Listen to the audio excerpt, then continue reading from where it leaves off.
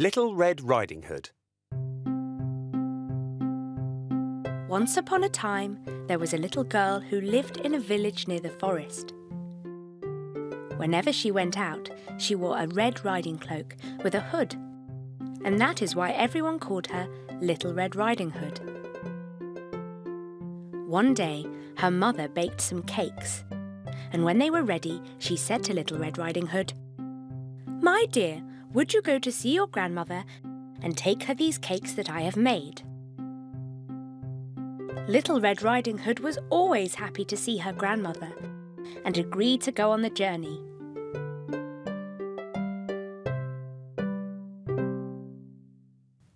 When the basket was packed, the little girl put on her red cloak and kissed her mother goodbye.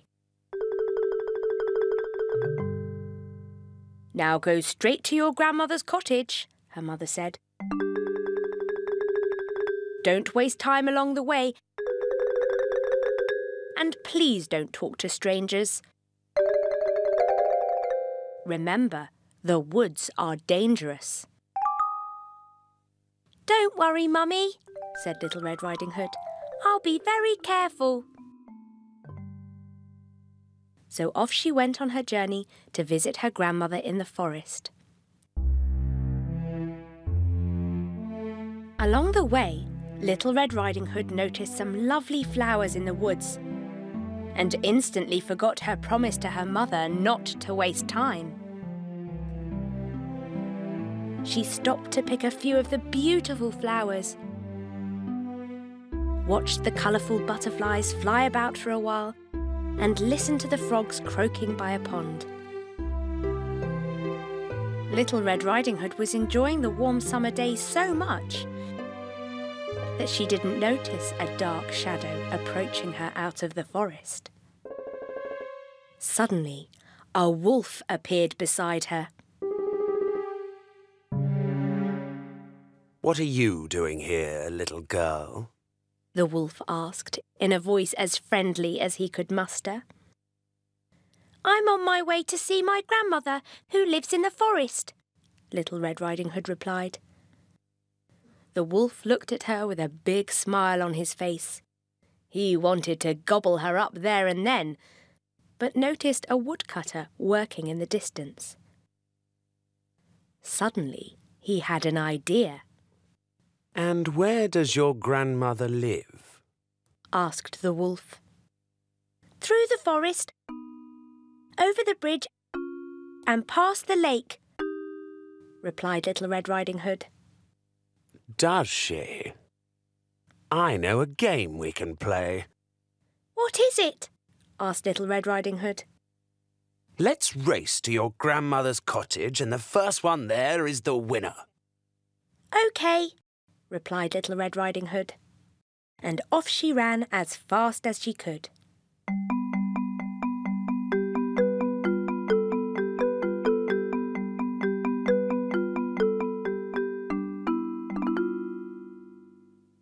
The wolf licked his lips as Little Red Riding Hood ran away.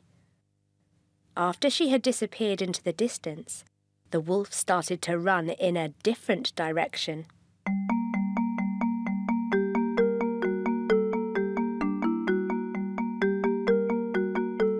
He ran and he ran until he was out of breath from running.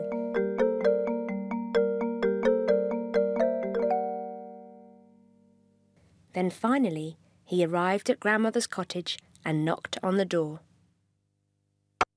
Little Red Riding Hood, is that you? shouted Grandmother from inside the cottage. The wolf put on his best little girl's voice as he replied, Yes, it's me, Grandmother. Oh, thank goodness, dear. Come in, come in. I was worried sick that something had happened to you in the forest, said Grandmother, thinking that her granddaughter was outside. The wolf let himself in. Poor Grandmother did not have time to say another word before the wolf jumped on her bed and gobbled her up in one go. The wolf let out a satisfied Uh. and then looked through Grandmother's wardrobe to find a nightgown that he liked.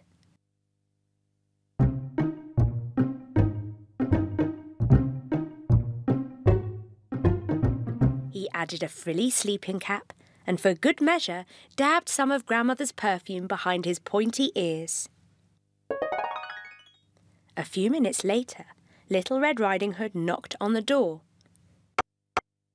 The wolf pulled the covers over his big nose and called out in a crackly voice, Who is it? It's me, Little Red Riding Hood. Oh, how lovely. Do come in, my dear. croaked the wolf. When Little Red Riding Hood entered the cottage, she could scarcely recognize her grandmother. Grandmother, your voice sounds so odd.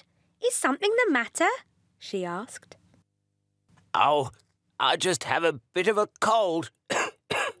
squeaked the wolf, adding a cough at the end to prove the point. But, Grandmother, what big ears you have, said Little Red Riding Hood as she edged closer to the bed. All the better to hear you with, my dear, replied the wolf. Grandmother, what big eyes you have, said Little Red Riding Hood. All the better to see you with, my dear, replied the wolf. But, but, Grandmother, what, what big teeth you have, said Little Red Riding Hood, her voice quivering slightly. All the better to eat you with, my dear, roared the wolf as he leapt out of bed and began to chase the little girl.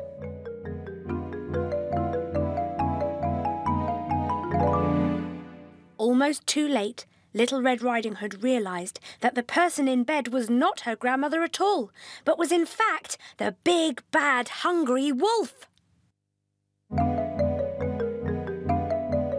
She ran across the room and out through the door shouting, Help! Wolf! as loudly as she could. A woodsman who was chopping logs nearby heard her cry and ran quickly towards the cottage.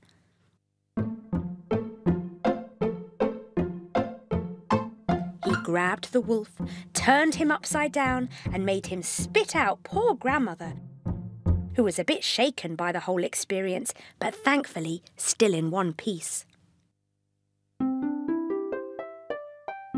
Oh, grandmother, I was so scared, sobbed Little Red Riding Hood.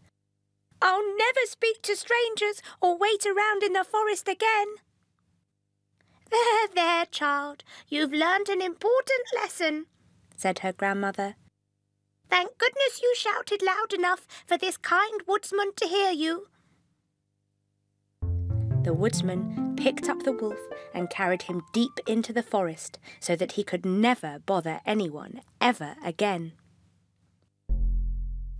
Little Red Riding Hood and her grandmother then sat in the garden and had a nice lunch, followed by the cakes that her mother had made for them.